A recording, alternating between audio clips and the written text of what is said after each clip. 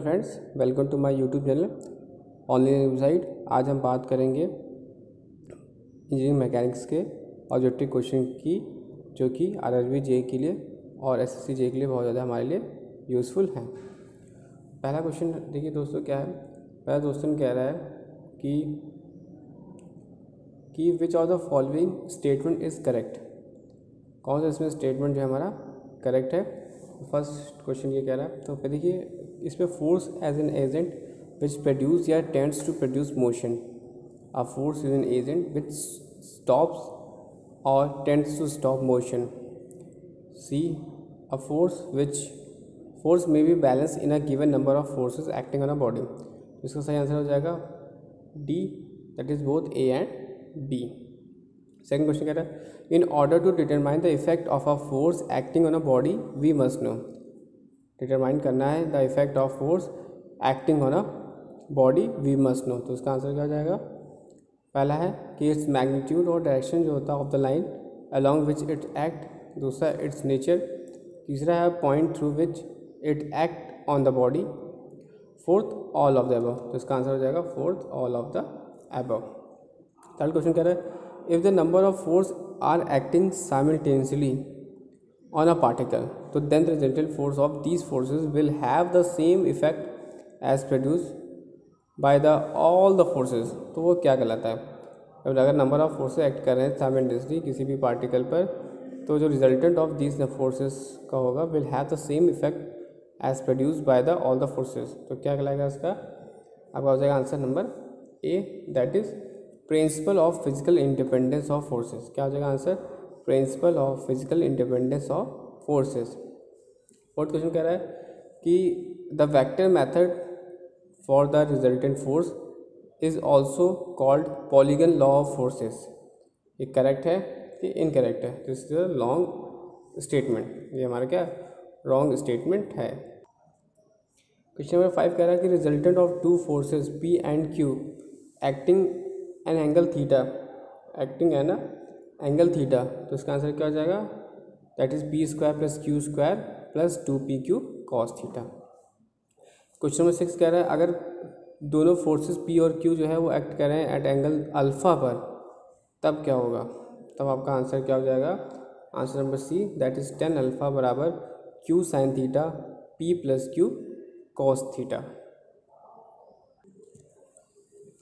next question ये कह रहा है दोस्तों कि जब movement of a force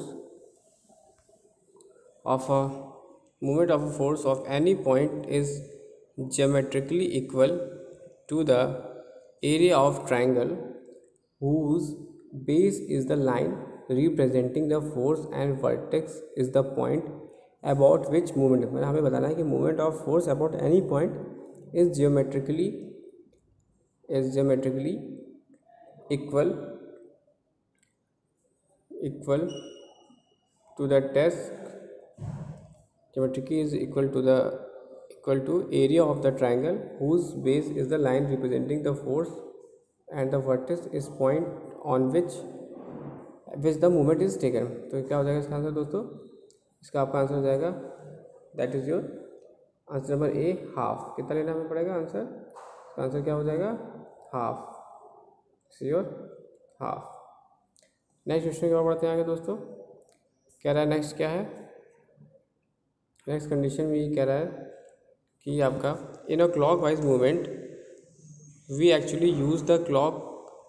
in order to know the time for which the movement is replied clockwise movement अगर ले रहे हैं तो हमें एक्चुअली यूज़ करना है wall wall clock in order to know the time for which the movement is applied तो इसका आंसर क्या हो जाएगा?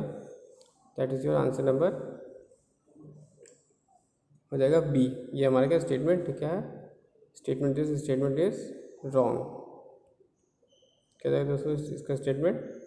स्टेटमेंट जाएगा आपका statement is wrong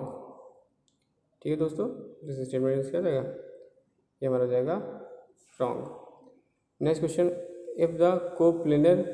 forces if the coplanar forces are acting simultaneously on a particle